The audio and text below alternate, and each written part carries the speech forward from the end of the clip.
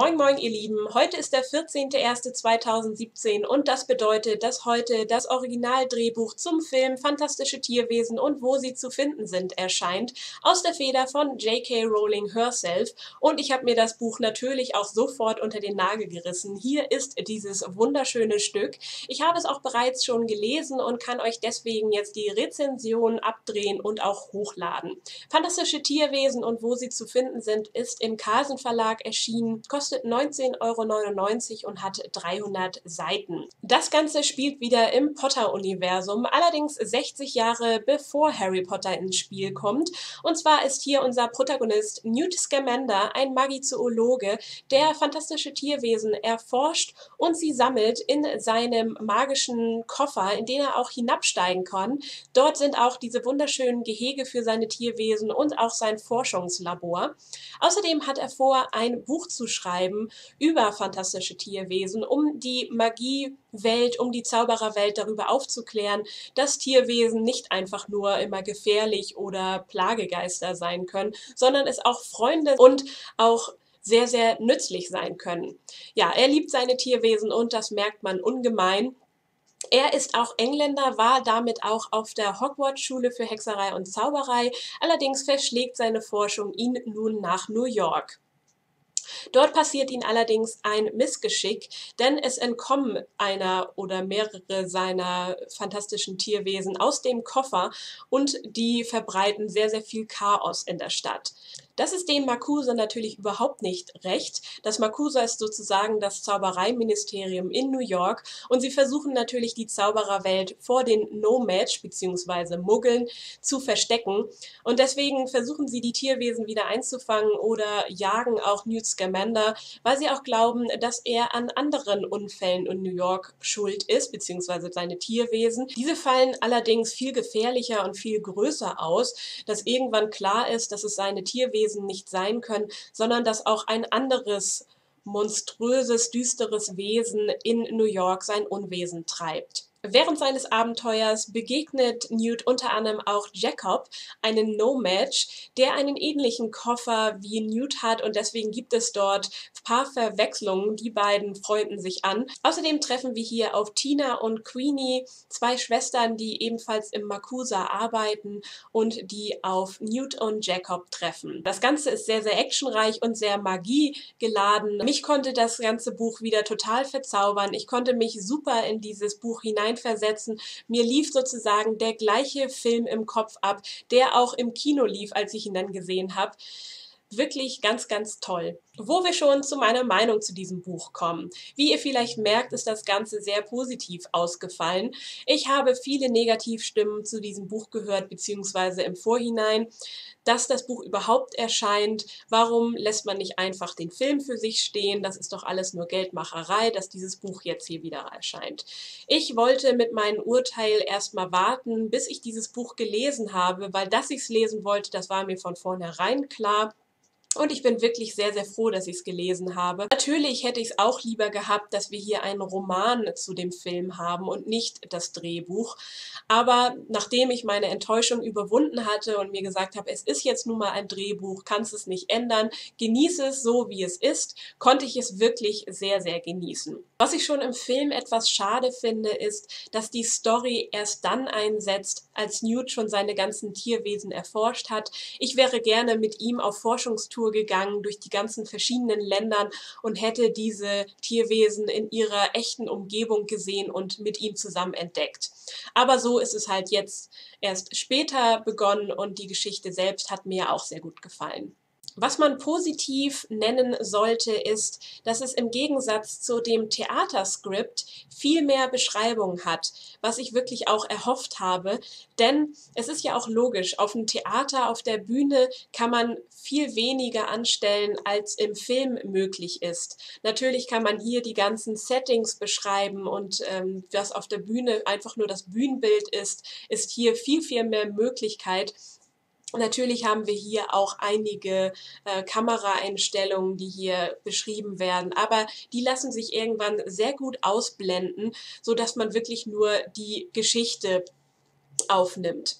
Das war mir auch sehr, sehr wichtig. Also die ganzen Kameraeinstellungen, das fand ich gar nicht so interessant. Es gibt hier hinten drin ein kleines Register, eine kleine Auflistung all der äh, Kameraeinstellungen, die halt so Kürzel haben, damit man weiß, was das alles bedeutet. Was auch interessant war, aber während des Lesens der Geschichte wollte ich mich da gar nicht drauf einlassen, wollte ich gar nicht, dass Kameras im Mittelpunkt sind, weil dann weiß man ja, dass diese Geschichte nur gefilmt wird und ich will sie ja wahr und in echt irgendwie miterleben, wenn ihr wisst, was ich meine.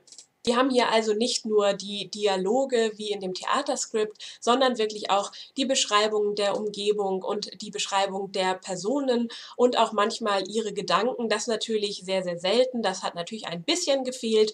Trotzdem konnte man sich hier viel besser reinversetzen. Manche mögen sich vielleicht fragen, wenn sowieso der Film in deinen Kopf abgelaufen ist, warum guckst du dir nicht einfach nochmal den Film an? Wozu brauchst du denn jetzt dieses Buch? Sie haben natürlich recht, im Grunde ist einfach nochmal der Film abgelaufen, aber hier sind viel mehr Details aufgefallen, die im Film rausgefallen sind, weil man vielleicht auf was ganz anderes geachtet hat. Hier kann man nochmal nachlesen und wie gesagt, manches ist einem überhaupt nicht aufgefallen im Film und hier konnte man diese Details viel mehr genießen, weil es einfach schwarz auf weiß hier steht. Außerdem habe ich immer das Gefühl, wenn ich etwas lese, dass ich den Personen etwas näher bin als im Film. Was ich auch noch nie so erlebt habe, ist, dass Buch und Film ja total deckungsgleich sind. Das heißt, man hat überhaupt keine Aufreger oder keine Reibungsfläche, wo man sich darüber ärgern kann, dass hier entweder was rausgelassen wurde, was zugedichtet wurde oder einfach was ganz anders gemacht wurde, weil es einfach das Originaldrehbuch zum Film ist, ist es einfach total gleich und das war irgendwie auch mal eine neue neue, tolle Erfahrung. Neben dem Kritikpunkt, dass ich es einfach schade finde, dass das Ganze nicht als Roman verfasst wurde, aber gut, darüber bin ich ja jetzt hinweg, fand ich es schade, dass das Schriftbild nicht so wie im Theaterskript war, sondern ein bisschen anders. Besonders bei den Dialogen ist mir das aufgefallen. Hier steht ja immer, bevor jemand etwas sagt, der Name in Großbuchstaben und im Theaterskript ist das so, oder bei, bei Dramen allgemein ist es so, dass die Namen links an der Seite stehen und irgendwann kann man die einfach so so ausblenden oder einfach nur im peripheren Blick haben, dass man weiß, wer was sagt, aber nicht mehr mitliest. Und hier waren die Namen mittig mittendrin und darunter stand dann das, was der oder diejenige gesagt hat. Und das fand ich doch etwas störend, weil man die Namen dann immer mitlesen musste, weil sie so mittig standen. Irgendwann ist mir das leicht gefallen, das vielleicht ein bisschen auszublenden, aber ja, das fand ich ein bisschen schade. Und nun möchte ich etwas zum Cover und zur Aufmachung allgemein sagen, weil ich das einfach so gelungen finde. Erstmal das Cover finde ich wunder wunderschön diese goldene Schrift, denn hier diese Verschnörkelungen, wo wir in den Schnörkeln verschiedene Tierwesen vorfinden, dann diese ganz kleinen Sternchen, die überall hier sind und funkeln. Das Einzige, was ich an diesem wunderschönen Cover bemängeln kann, ist, dass diese Schnörkel nicht dieselbe Farbe haben wie die Schrift hier. Das dachte ich nämlich erst, als ich das äh, Cover als Bild gesehen habe. Als ich dann gesehen habe, war ich ein bisschen enttäuscht, dass das nicht hier auch irgendwie glänzt und funkelt. Ich finde nämlich irgendwie passen diese beiden Farben nicht so gut zueinander, dieses Gold und dieses komische Braun oder was es auch immer sein soll. Aber trotzdem finde ich es wirklich sehr, sehr schön. Das geht auch hier an dem Rücken weiter, beziehungsweise bei der Schrift finde ja, Buchrücken sind sehr, sehr wichtig, weil das diejenigen sind, die man dann im Bücherregal sieht. Finde ich wirklich sehr hübsch. Und hier hinten ist nochmal der Donnervogel drauf. Jedenfalls denke ich, dass es der sein soll. Und ich möchte euch auch nochmal zeigen, wie wunderschön das Ganze aussieht, wenn der Umschlag ab ist. Und zwar haben wir hier vorne drauf den Niffler, den ich ja von den Tierwesen sowieso mit am besten fand im Film bzw. in der Geschichte. Auch nochmal schön gold geprägt. Auch hier sieht das sehr, sehr schön aus. Und auch hier hört es nicht beim Äußeren auf, sondern auch das Innere finde ich wunderschön gestaltet. Wir haben hier zum Beispiel unten bei den Seitenzahlen Verschnörkelungen, denn hier oben auch nochmal, wo der Titel steht. Und was ich am allerschönsten fand, wir haben hier zwischen den verschiedenen Szenen auch nochmal so Fußabdrücke von verschiedenen Tierwesen, ob das nun Hufe oder Krallen sind. oder Pfoten. Aber das Allerallerschönste waren die Illustrationen der Tierwesen. Auf die habe ich mich immer so gefreut, weil die passen einfach so sehr zu dem ganzen Design. Hier zum Beispiel. Und eines möchte ich euch noch zeigen. Hier, diesen Löwen zum Beispiel. Die haben mir sehr, sehr gut gefallen. Es war einfach ein Augenschmaus, hier durchzublättern. Manche würden vielleicht sagen, dass es fast schon zu viel Geschnörke und zu viel Gemuster ist, dass einen das ablenkt vom Inhalt. Aber ich habe mich immer wieder auf diese Illustrationen gefreut, die ja äh, den Inhalt einfach nur bereichert haben.